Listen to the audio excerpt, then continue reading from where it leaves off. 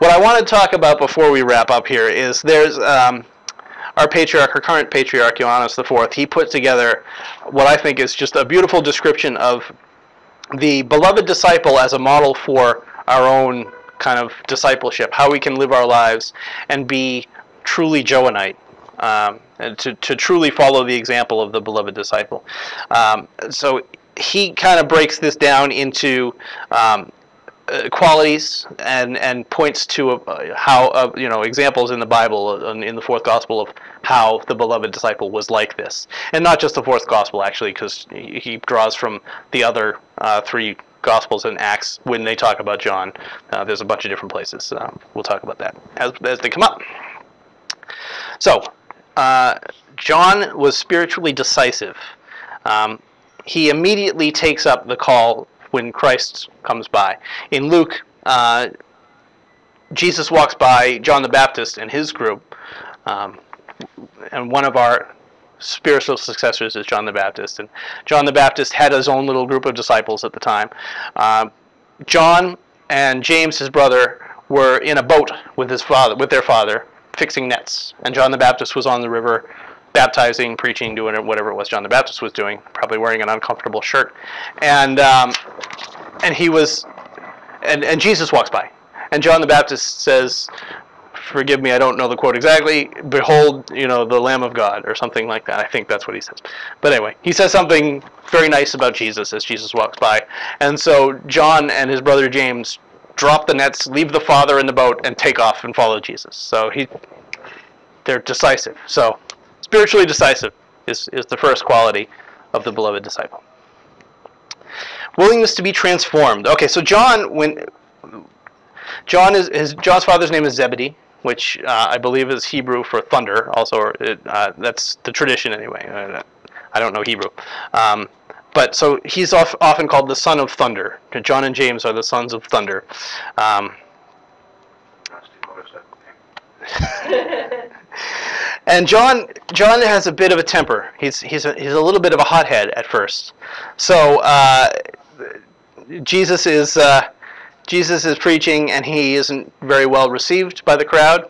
And John says, "Lord, do you want us to call down the fire of heaven to destroy them?" And Jesus says, "Let's let's not do that right now. Let's do something else."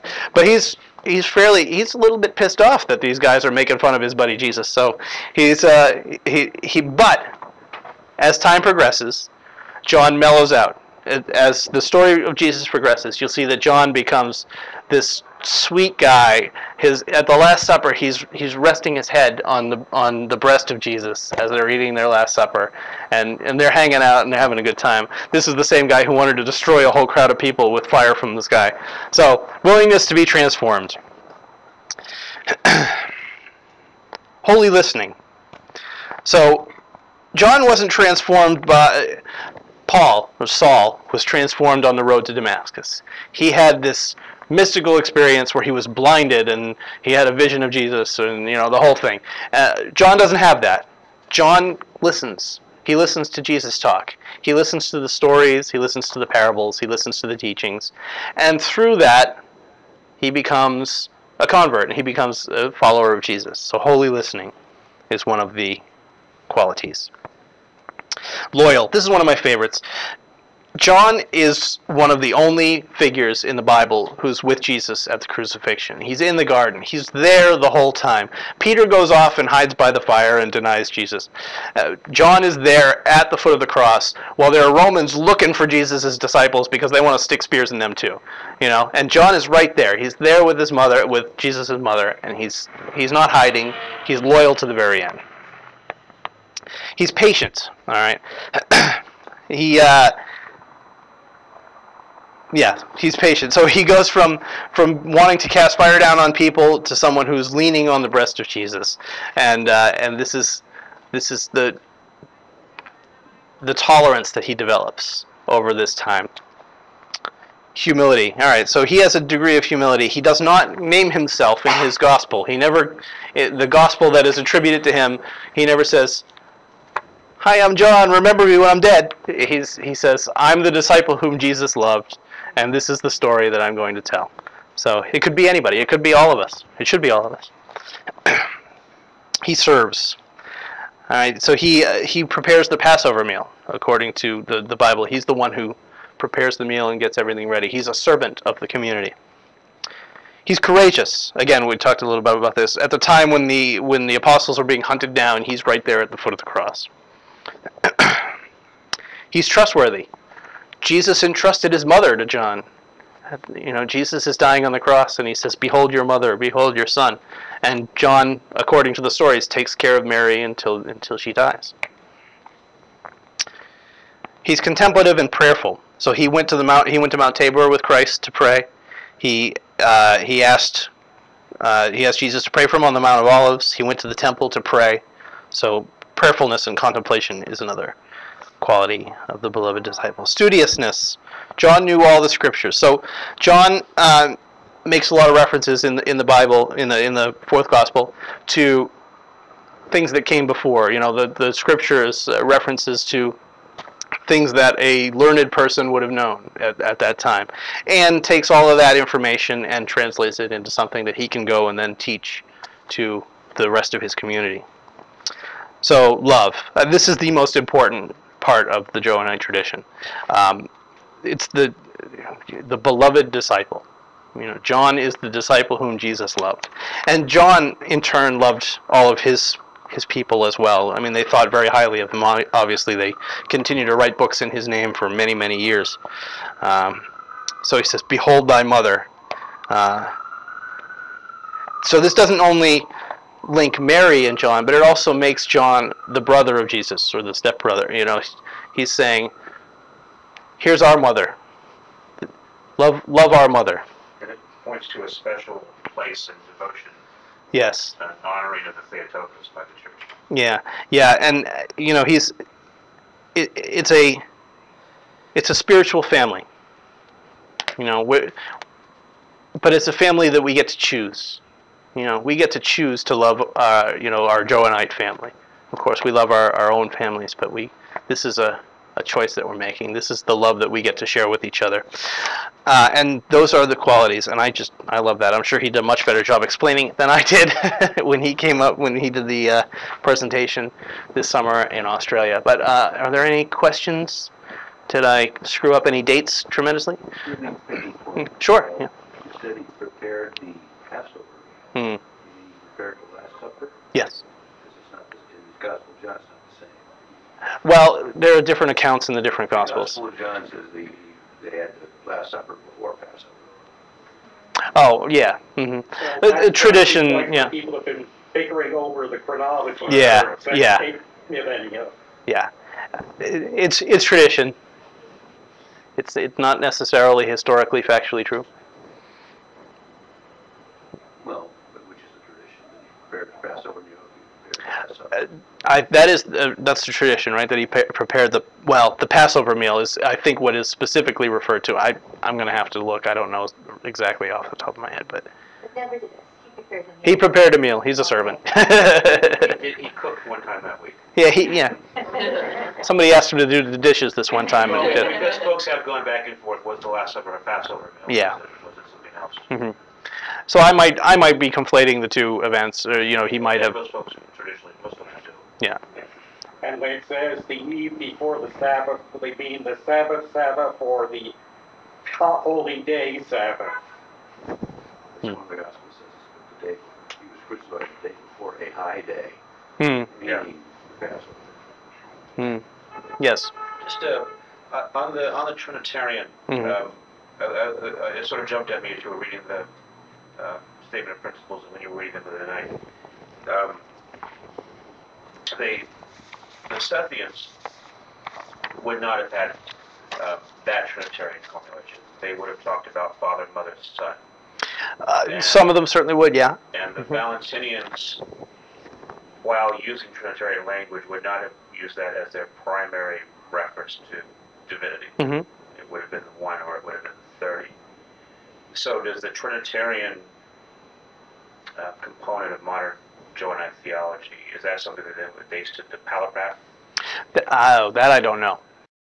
Um, yeah, I have, I have. When the second version of the Leviticon comes out in English, then we might have a better idea about that. I'm sure that there are people who know. We're all looking Um, forward to that. Yeah, but I'm not. I'm not. I don't know. I don't know off the top of my head. Good question, though. You're right. I mean, um, Johannite Gnosticism is not Sethianism. It's not Valentinianism. It is its own different thing. It, you know, certainly has respect for those traditions, for for the the past Gnostic traditions, but it is a modern expression. Well, and as you mentioned, there's a Johannite component in all of this. If you Yeah. Irenaeus, uh, for instance, complains about the Valentinians. He says these guys, these guys are crazy about the Gospel of John. What about Matthew, Mark, and Luke? Yeah. And uh, because John, and, and it's interesting because we see that not only in the Valentinians, but in later esoteric where they'll have the Gospel of John open on, hmm you know, open during certain rituals and things like that. Mhm. And uh, one thing I was reminded of when you were talking about love is if you read various things on the Church of John, the secret Church of John, they will point, they will refer to it as the Church of Amor, A-M-O-R, which is opposed to and opposite to R-O-M-A, Roma. Hmm. Roma. Roma. So it's the opposite of the Church of Rome. You have Amor and you have Roma. Yeah. Um, another point about the the Johannite divine love uh, uh, bit. There's um, there's a video that will be coming out soon from the this past summer's uh, I conclave. We have a conclave every year where, where a lot of the clergy and, and many lay people kind of get together and we hang out and we have classes and, and uh, it's our, our church's annual meeting. so th- this happened this past May in Australia, uh, in Sydney, and the newly minted bishop from Sydney uh, gave a fantastic presentation that I can't wait till you can all watch on YouTube. It's coming out very soon. Um, it was it was so touching. Everybody in the room was tearing up uh, about the the, the love of our Johannite family. Maybe I'm a sucker for that kind of thing, but it was nice. It was very nice. Anything else? Mm-hmm. So, uh, not to cut off any questions, but before we do wrap up, uh, maybe you should talk about where to find Leviticon, where Yes. to find other resources, Mm-hmm. and the YouTube channel. Yep, Joe yep. Stuff. Yep. Uh, so you can find the Leviticon uh, by going to our website, johannite.org. Um, it is under publications. I, I think it. I think it's not on the front page anymore, but it, there's a menu bar at the top. You can click on publications, and that'll take you to a link where you can buy it. Um, it is. Uh, well, it's twenty dollars here. I'm not sure where it, what it is in most places. Sometimes Amazon, Amazon does weird things with the price. Of course, if you buy it here, it supports Gnostic NYC. No pressure. Um, it for more information specifically about the Johannites, I would look at our webpage under um, uh, what's the heading? Johannite spirituality, I think, is the heading at the top of the page that you can click on. It has the statement of principles, and it has uh, some frequently asked questions that are helpful that people ask frequently that we have answered. So uh, you can read all of those and, uh, and, and kind of get a better idea of what we do.